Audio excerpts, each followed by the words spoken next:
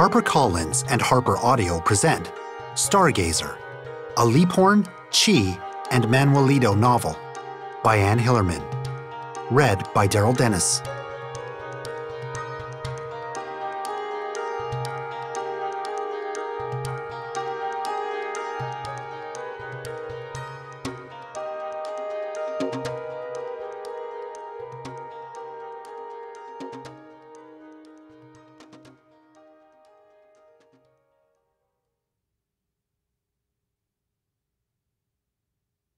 A note before we begin.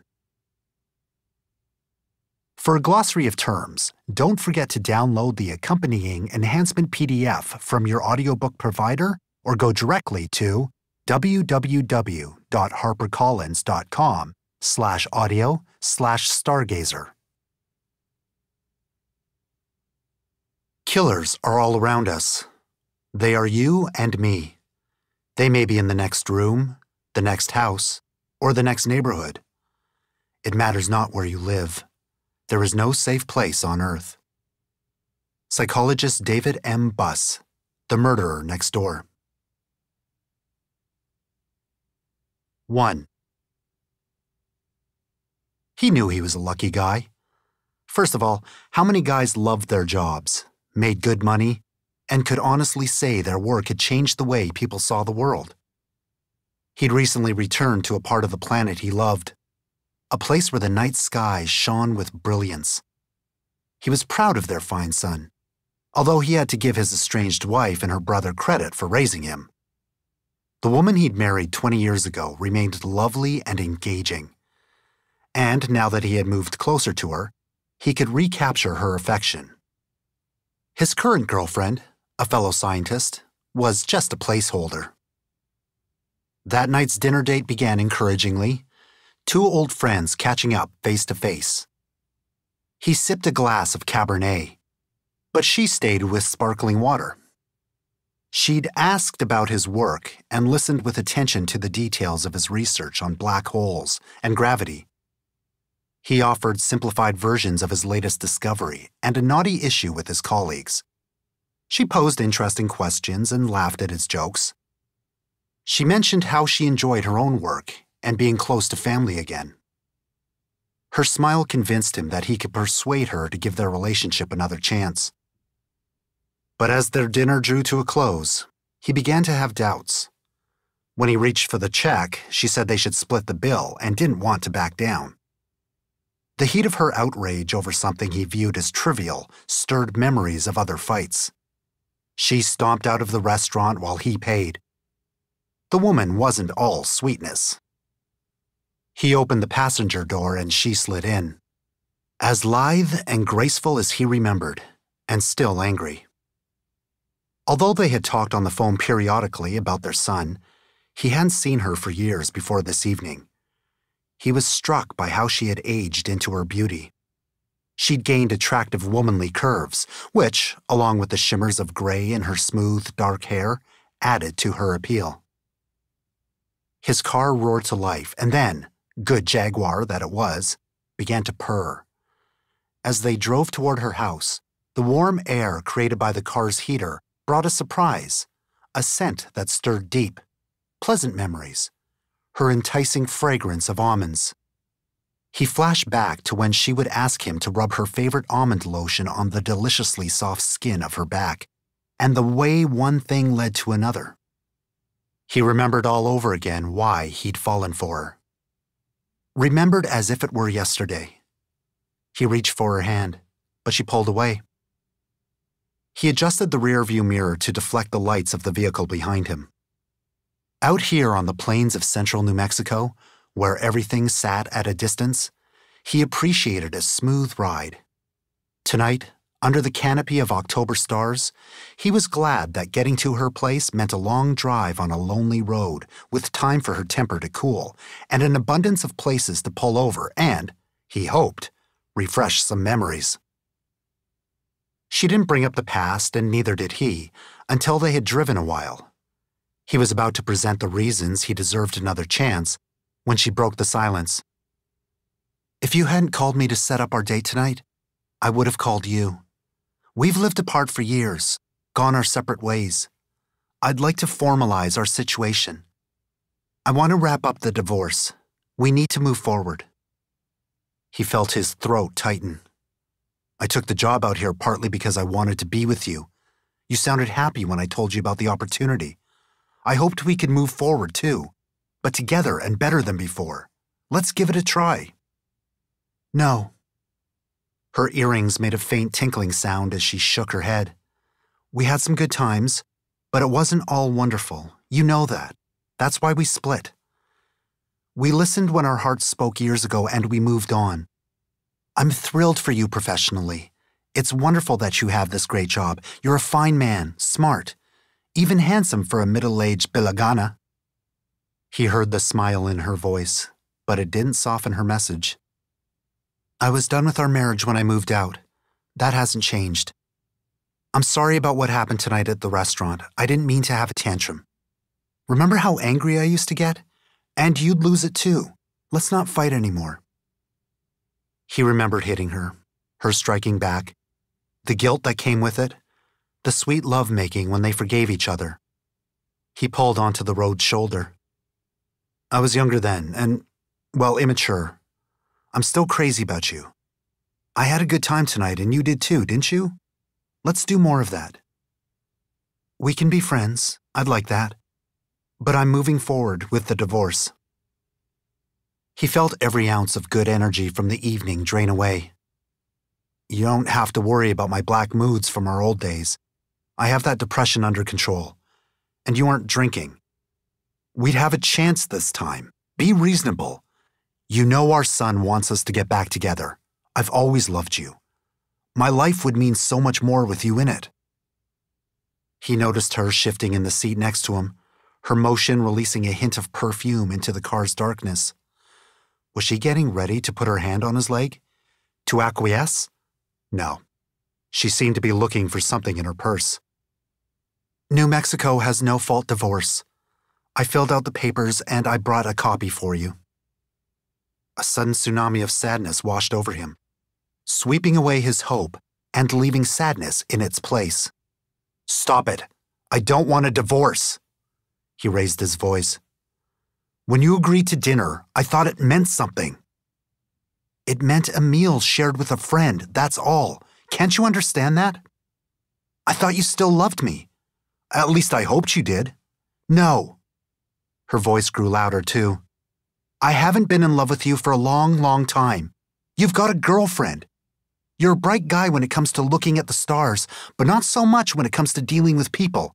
Why do you always have to be so difficult? We should have divorced years ago. You're breaking my heart. Your boyfriend must have put you up to this. You have a boyfriend, don't you? That's none of your stinking business. She spit out the words. I know you still care about me. I'm fighting you every step of the way. He clenched the steering wheel until he had his emotions under control. I could turn your life into a living hell. Don't make me do that. The darkness hid his tears, but he knew she heard the ragged edges of desperation in his voice. You're pathetic. I don't have to take your craziness anymore. I'm finished with this and with you. That was when he remembered the gun. 2. Socorro County Sheriff's Detective Tara Williams picked up the call. The president of the Alamo Navajo School Board Ralph Apacheito sounded breathless. He got right to the point. My son Raul found a dead man. What? Yeah, early this morning when he was out on the mesa hunting rabbits. He saw a car and went to check it out. He told me about the body in the front seat. She dealt with Apacheito before when a situation arose where a tribal member got crossways with the county law enforcement. They'd built some rapport. Is the boy playing a trick on you?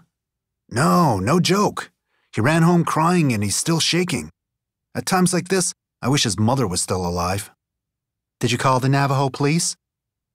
Yeah, they said to call you because it looks like where Raul saw the car, that's the county's jurisdiction. Anyway, you know Officer Pino is on leave. The man who ran the Alamo Navajo police operations, Peyton Pino, had broken his leg in a freak accident last month. Calls were routed to the Navajo police in To'hajiilee, a town about a 90 minute drive to the north. Farther than Williams's office in Socorro. She had teased Peyton that he should station her friend Bernadette Manuelito down this way.